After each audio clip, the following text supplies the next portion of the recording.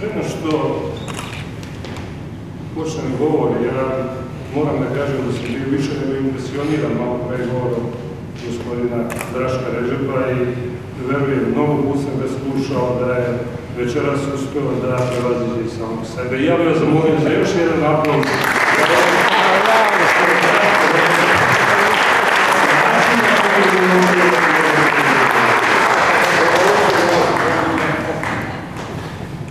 Dame i gospodo, uvaženi sugrađani, uvažene sugrađanke, naravno velika mi je čast i zadovoljstvo što mogu u ime organizacijalnog odbora manifestacije Antičevi dani danas da uručim sigurno jedno od najvažnijih priznanja u ovom gradu. Draško će uvijek reći da jeste ovo najvažnije priznanje, ali ja mogu u nekim stvarima ponekad se složiti, ponekad ne.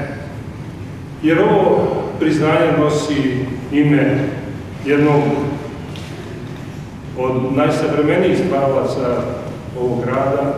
Ja verujem da i samo stvaralaštvo Antića je doprinilo tome da postanemo i, ajde da kažemo, evropska predstavnica kulture, ja volim da kažem i svetska predstavnica kulture, jer ne znam da se nešto slično država u Aziji u Americi. Tako da, sigurno da svi prisutni večeras su sa velikim zadovoljstvom pre svega ovde, da na pravi način damo počast onome što je Mika Antić radio u ovom gradu.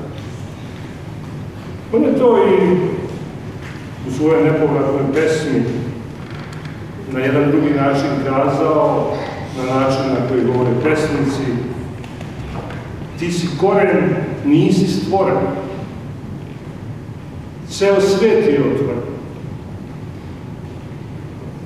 No, ipak, nama, običnima, jednom prilikom je rekao ono što ja moram da istaknem kao predsjednik Skupštine grada, a to jednom su me pitali zašto sam tako gimnazijalski zaljubljen u Novi Sad i nisam uspeo da im odgovorim. Jer se sa najdražim gradom kao i sa najdražom ženom nikada ne možemo objasniti zašto su nam baš oni najdraži. Pesnik koga nazivaju pesnikom vođarske ravnice, pesnikom duše i pesnikom besmrtnosti, za sve nas predstavlja neodvojivu odrednicu vremena i prostora koju pripada. Umesto suvoparnih biografskih podataka citirat ću samo pesnika. Svakog jutra poželim da počnem jednu odličnu biografiju, koja bi poslužila, ako nikom drugom, bađacima koji u školi nekad moraju da uče u životu pisaca. Najviše bi volio da je sam izmislim svoju biografiju, jer onda ću imati mnogo različitih života i biti najživiji među živima. Ostalo ono što nije za pisanje, nego je za šaputanje, rekao sam u pesmi In Memoriam i svim ostalim mojim pesmima. Antić je buran stvaralački život i stvaralački put oboljen su težnjom da sa pažnjivo odabranim rečima, ali opet svima nama lako razumljivim jezikom definiše ono neopipljivo, ono što čini suštinu i bit svakog od nas, sve one najdublje dileme, radosti, tuge, sećanja, bol i neosporno je da Antić bio pesnik duše, koji je svojim raznovrskim i istačanim umjetničkim talentom doticao svača srca i govorio je za sebe. Teško je biti okovan u moju vrstu slobode. Lako mi je sa nemirom, ali ne mogu da umirim mir.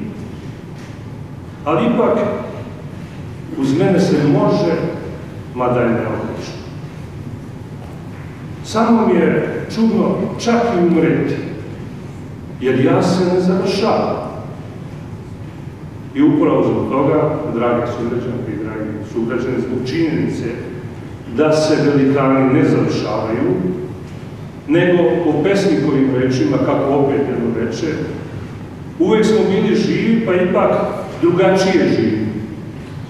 Od svih ostalih živi na ovom zbunjenom svetu.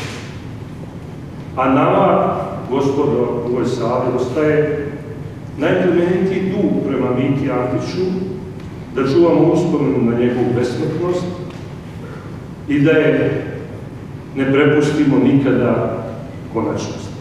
Novi Sad, njegovi poštovalci i naši sugrađani i sugrađanke sa velikim uvažavanjem čuvaju uspomenu Miroslava Antića, a manifestacijom Antićenih dani pokušao da mu se bar delimično odužimo za sve one lepe trenutke i sećanja koje su neraskidivo vezane za njegovu poeziju, liriku i ono široko i veliko umjetničko srce.